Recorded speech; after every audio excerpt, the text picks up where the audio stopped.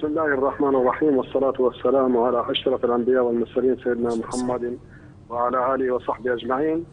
آه اليوم لنا حوالي خمسة أيام يتم هناك هجوم على المقرات العسكرية مقرات عسكرية تخص الجيش الليبي. آه وإحنا الآن لا نتكلم عن الجيش الليبي الشرق أو الغرب أو شنو. الجيش الليبي يعني تم. والمطار سبها تم احتلالها من قبل. مجموعة لا نعلم عليها ليس لها أي صلة بليبيا وليس لها أي تدخل في ليبيا.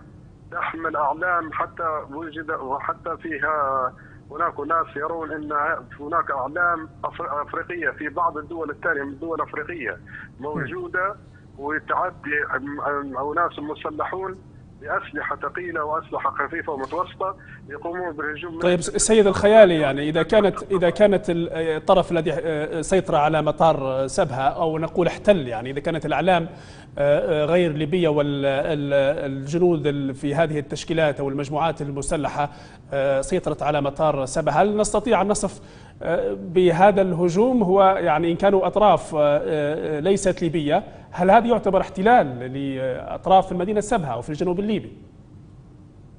هذا صار على جميع الليبيين جميع الليبيين. يعني ليبيا نصها محتل يا الجنوب نصها محتل. كيف تقول لي؟ لأن نص الجنوب محتل. من الآن لما تذهب إلى بعض المناطق اللي بعد سبها تجدها جميعها محتلة لأن مع مناطق بأجانب غير ليبيين مسيطرين بأسلحة من السودان ومن تشاد ومن بعض الدول الأفريقية الأخرى محتلين المناطق هذه كلها. لازم يفهم الليبيين الحقيقة لأن الحقيقة هي احتلال. هذا مش حقيقة مش مش ليبيين لو ليبيين إحنا لا ما عندناش مشاكل معهم. خلي يطلعوا يقول لك خلي يوروك الموجودين هل هم ليبيين أم لا؟ هذه احتلال احتلال تعدي على الأراضي الليبية والشعب الليبي والجيش الليبي مانيش عارف في صمت. إلى متى؟ إلى متى حتى حتى يتم احتلال ليبيا؟ تماما. ولا هذا هذا المشكلة اللي إحنا نعاني منها. وين حكوماتنا؟ حكومات طيب كيف هي مقاومة؟ يعني ال ال بالتأكيد هناك أطراف ليبية سواء تتبع أطراف سياسية في الغرب في الشرق يعني لماذا ليست هناك مقاومة لهؤلاء المحتلين كما وصفتهم الآن؟ والله المقاومه هذه لسه مقاومه فيهم هم هم موجودين. تو في بعض الليبيين الأحرار اللي يهمهم ليبيا واللي يدافعوا من أجل ليبيا موجودين. ها في في في القلعة فوق قاعدين يدافعوا.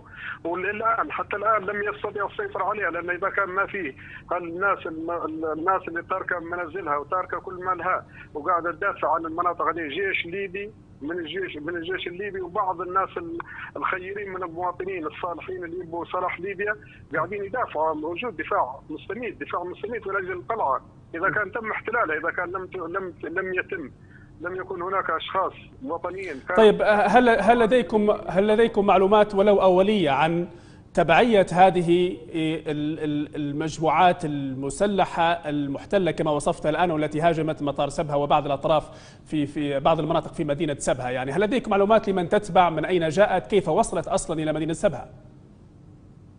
هذه ليس لها أي تبعيه مرتزقة جاية من حتى من مناطقها تحارب فيها حتى مناطقهم يحاربوا فيه من السودان مرتزقة جاية من السودان من تشاد من بعض المناطق الأخرى. إحنا عندنا هذه المشاكل هذه نعاني فيها من فترة طويلة. حتى الآن يعني الآن تكاتفت مع بعضها وأصبحت تبي تحتل الجنوب. طيب. المشكلة هذا المشاكل اللي إحنا نعاني منها. نعم. هل هناك ضحايا من المدنيين وأيضا استعدادات مركز سبها ومستشفى سبها الطبي لاستقبال هذه الحالات؟ والله مركز سبا الطبي بارك الله فيهم مستعدين وقاعدين على الطوارئ اليوم كنا مشينا زرنا المركز الطبي ووجدنا في طوارئ كل الناس موجودة الدكاترة موجودين بس عندهم نقص.